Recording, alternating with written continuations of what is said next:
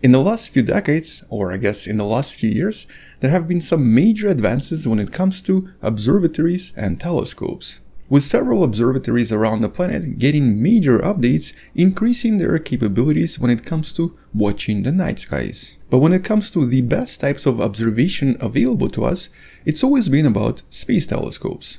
Like the iconic Hubble telescope you see right here, or the more recently launched James Webb telescope, that is still cooling down and is still getting ready for its first flight, as of the making of this video. But space telescopes always had this one major limitation, size. It's always been difficult to make a larger and larger telescope in order to place it into orbit. And so even though the Hubble's mirror is about 2.4 meters across, the only way the scientists figure out how to make a 6.5 meter for the James Webb Space Telescope was to literally turn it into a kind of an origami, an unfolding telescope that would become larger when it's in space. Which is of course why this mission was so complicated and why so many things could have gone wrong. But so far, everything seems to be going as planned. Nevertheless, with telescopes, it's really always about the size of the primary mirror. And so figuring out how to make an even larger mirror and how to then try to place it into a location where the telescope can observe the night skies has always been the major priority for modern scientists. But with the James Webb telescope, we might have reached an official limit. Or did we? Hello wonderful person, this is Anton, and today we're going to be talking about the very interesting experiment currently going on on the International Space Station that has a potential to create a way for us to create even larger mirrors in space and to then observe even things like distant exoplanets. Because the only way for us to ever see a distant planet directly is to actually create a large enough mirror somewhere in outer space. With all of this involving a somewhat intriguing and extremely interesting and original technology using what's known as a liquid mirror. A telescopic mirror made entirely out of a liquid solidified in space, employing several really interesting phenomena that only happen in zero gravity. But I guess the question is, why? Why not just do this the hard way like we always did with telescopes? Well, the thing is, when it comes to these really large mirrors, the larger the mirror, the more complex and more expensive the manufacturing process. With mirrors of extremely large size, more than 5 meters across, costing millions and millions in production and becoming more and more difficult to produce, as the size increases. As a matter of fact, this is one of the main reasons why usually it's more beneficial and much cheaper to actually make a telescope out of multiple mirrors. Which is actually why some of the largest planned telescopes are going to be made this way. They're going to be made out of smaller 2.4 to 2.5 meters, which are much easier and much cheaper to produce. With the telescope that you see right here, known as Gran Telescopio Canarias, currently being the record holder for the largest single mirror at 10.5 meters across. And so I guess one way of maybe making something bigger in space is just the same what they did with James Webb Telescope, making a compound telescope out of multiple mirrors. But that would require multiple launches and would also add up really quickly in terms of the cost. And so for example, the extremely large telescope planned in Chile made out of more than 100 different mirrors would in theory require more than 100 launches. And so that's not really a practical way of doing this when it comes to space telescopes.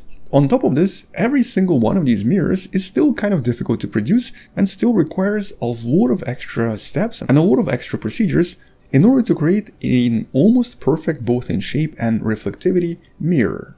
And so could we maybe do this some other way? Can we actually use the natural laws of physics along with some creativity to create something out of, for example, a fluid, a liquid. Well, liquid telescopes are already a reality. They've existed for many, many years, more than 100 years as a matter of fact. And these so-called liquid mirror telescopes have usually been made out of liquid metals. The metal that's liquid at room temperatures, although some other metals have also been used before, such as for example alloys of gallium. And the concept of liquid metal mirrors was actually explored by the iconic Isaac Newton, who even did all of the math and calculations behind it, but was never able to physically produce an actual telescope. That record goes to a much less known Henry Skey of New Zealand, who made a first working lab with the first liquid mirror telescope back in 1872, over 150 years ago. And the thing about these telescopes is that they're actually really easy to produce and are relatively cheap as well. They don't require much in terms of the production costs. And they rely on a very simple principle of how liquids behave when they're rotated.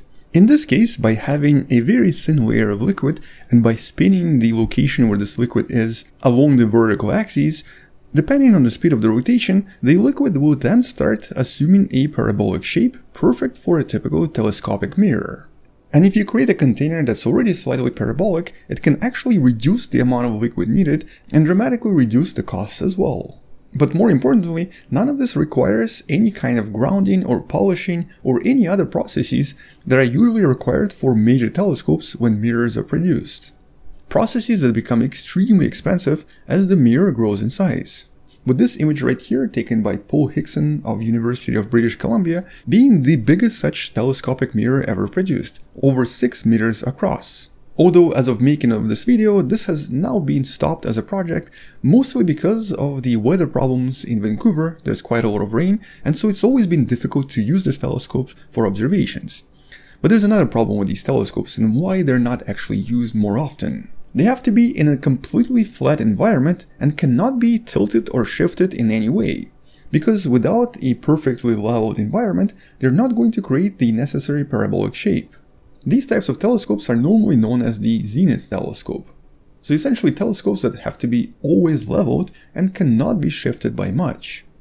And so because of this, using this on Earth, because of the gravity, is always a challenge. And these telescopes would also have very limited amount of observations they can usually do. But in the past, scientists have also proposed putting these into outer space, and specifically by having a liquid telescope with just a little bit of gravity to assume the shape in a certain direction would actually make a lot of sense as well and would allow for a much larger production in terms of size. Although at least for now all of this has been theoretical and has never really been tried before.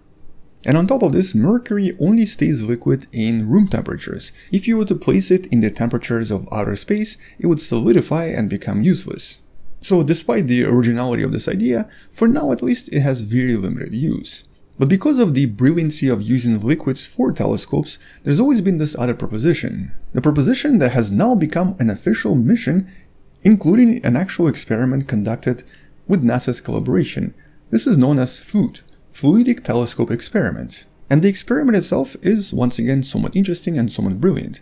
It doesn't use any liquid mercury, it doesn't use any unusual liquids or unusual materials, and for the most part relies on the ideas of liquids forming a perfectly spherical shape when placed in zero G, with the eventual goal being a production of a liquid mirror in space 10 to maybe even 100 times bigger than anything we've ever been able to produce but also, more importantly, removing all of the extra steps of grinding and polishing the mirrors as well. And all of this, of course, relying on the unusual effects produced by liquids in space, and there are so many different explorations of liquids in space that have already been done by both ESA and NASA.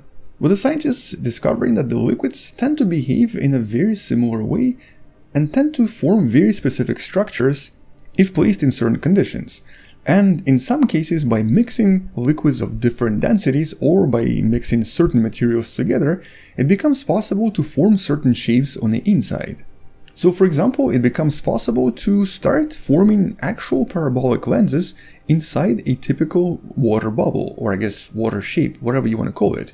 With all this being a relatively cheap and more importantly, relatively quick process, it wouldn't take long to produce an almost perfect parabolic mirror and produce all of this by using a very similar technique to what you see right here from the experiments conducted on top of the International Space Station. And the team behind the study has already conducted several experiments on top of these so-called reduced gravity aircraft that usually produce zero-g conditions for just a few seconds. The aircraft that follow this curve you see right here in order to create zero gravity for roughly around 20 seconds at a time. In this case, using various synthetic oils of various viscosities in order to determine which would work the best. And by combining various oils on the inside for those 20 seconds, they were able to create perfectly shaped lenses or perfectly shaped mirrors. With all this falling apart once the gravity returned.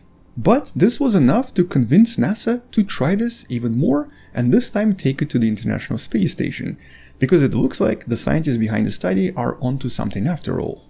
With all this being one of the scientific missions being taken to the ISS by the first ever private mission known as Axiom 1, the mission launched by SpaceX on 8th of April 2022. You can learn a little bit more about Ax-1 mission investigations in the link in the description below, but this particular experiment is one of them, and it's going to represent an extremely important attempt of seeing if this technology really works in actual zero-G. In this case, the lens is going to be created from various liquid polymers, which are then going to be hardened using temperature and ultraviolet light, which is actually exactly how it's usually done in a typical nail salon when the artificial nails are hardened using the UV light. And because all of this is going to be a relatively simple process, the final product will then be examined here on Earth to see if the mirror is indeed as perfect as the scientists are hoping to make it. And so once this is done and once it's actually finished, there might be a chance for the scientists to figure out how to make this into an actual very large mirror that could then be placed in outer space by using a very similar technology.